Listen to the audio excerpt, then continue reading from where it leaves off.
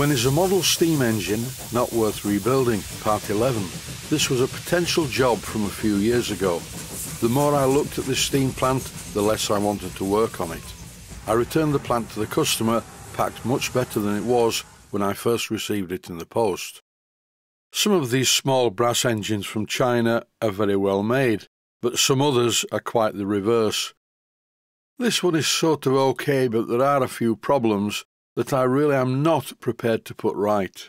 As you can see, it is a twin-cylinder engine fitted with Stephenson's link reversing gear and it works okay.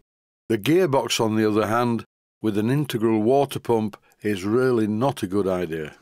The wooden base must be quite soft because the four screw threads are a rattle fit in the holes in the wooden base. Looking at this gearbox in detail, it really is very well made. Ball racers fitted where they need to be and an integral water pump make it a really useful device for driving twin propellers from a single engine. Does the engine run? Well, yes indeed it does. There's no live audio on this one. The footage was taken from a video I made a few years ago all about a model steam plant bought online. So why am I making this video using existing footage? The answer being because I haven't had much time this week to work on video projects because I've had a couple of hospital visits which were quite important. One of the procedures was a cystoscopy to have a look at my bladder and prostate, and I'm pleased to announce that everything seems okay.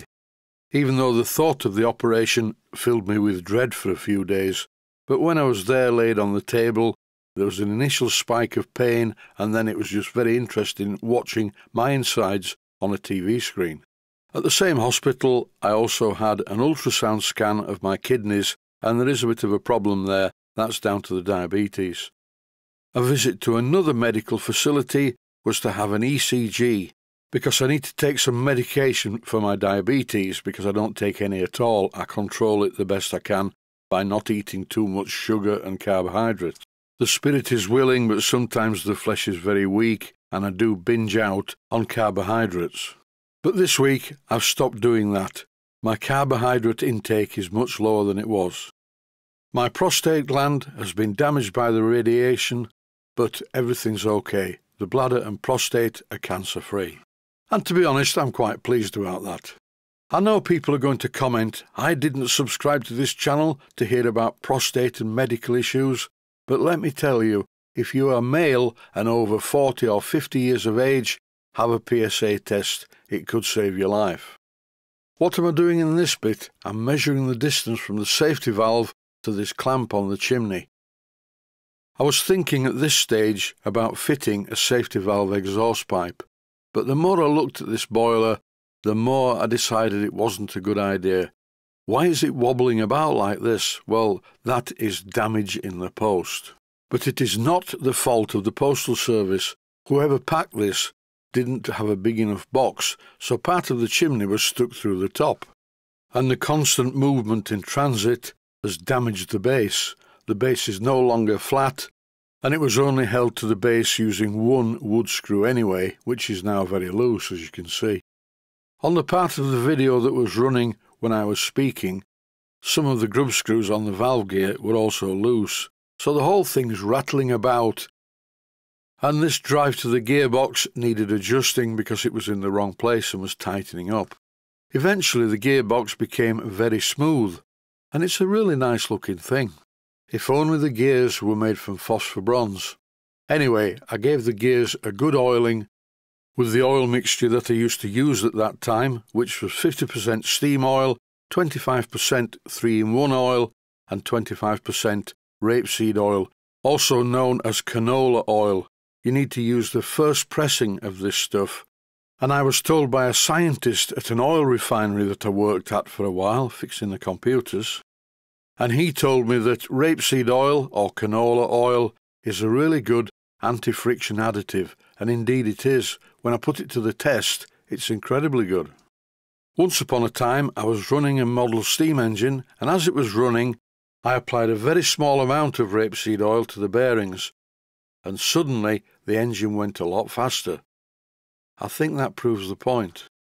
A friend of mine, the late Bernard Walker, used to work on the railways, and when I told him about the rapeseed oil being an anti-friction additive, he nodded and told me an interesting story from his time on the railways.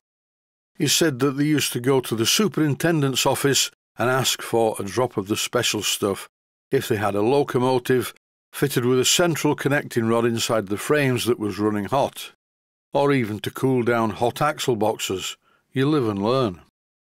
I still add some rapeseed oil to my oil mixture. That is the lubricating oil mixture. I do not add it to steam oil. And the bearings of all engines in my personal collection are in really good order. After tightening up the linkages on the engine, the reversing gear does work considerably better than it did.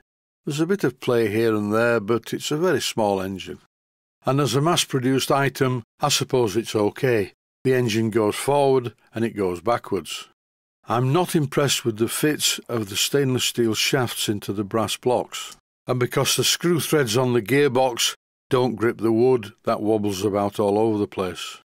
Before I send the steam plant back to the customer, with my apologies for not repairing it, I do need to fix this. In this clip I'm removing the boiler shell from the base plate.